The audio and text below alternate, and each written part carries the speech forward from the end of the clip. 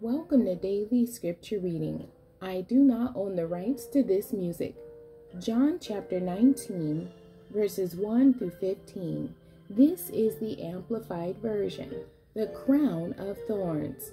So then Pilate took Jesus and had him scourged, flogged, whipped, and the soldiers twisted together a crown of thorns and put it on his head and put a purple robe around him.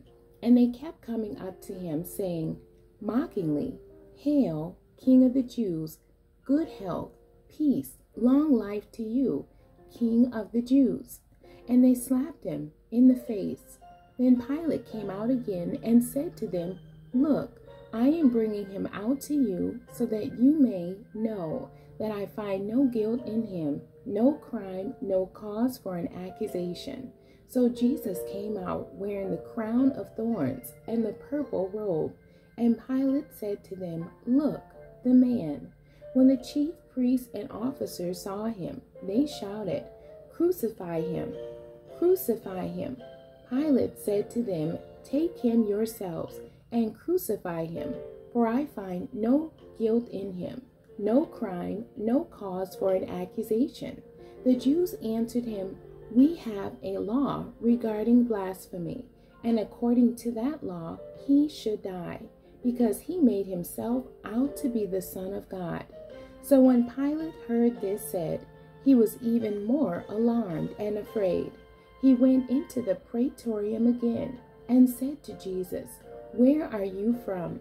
But Jesus did not answer him. So Pilate said to him, You do not speak to me. Do you not know that I have authority to release you and I have authority to crucify you? Jesus answered, You would have no authority over me at all if it had not been given to you from above. For this reason, the sin and guilt of the one who handed me over to you is greater than your own. As a result of this, Pilate kept making efforts to release him, but the Jews kept screaming, if you release this man, you are no friend of Caesar. Anyone who makes himself out to be a king opposes Caesar and rebels against the emperor. When Pilate heard this, he brought Jesus out and sat down on the judgment seat at a place called the pavement, but in Hebrew, Gabbatha. Now it was the day of preparation for the Passover week, and it was about the sixth hour. He said to the Jews, Look, your king. But they shouted, Away with him! Away with him! Crucify him! Pilate said to them, Shall I crucify your king? The chief priests answered, We have no king but Caesar. The end. God bless you and thank you for joining me today.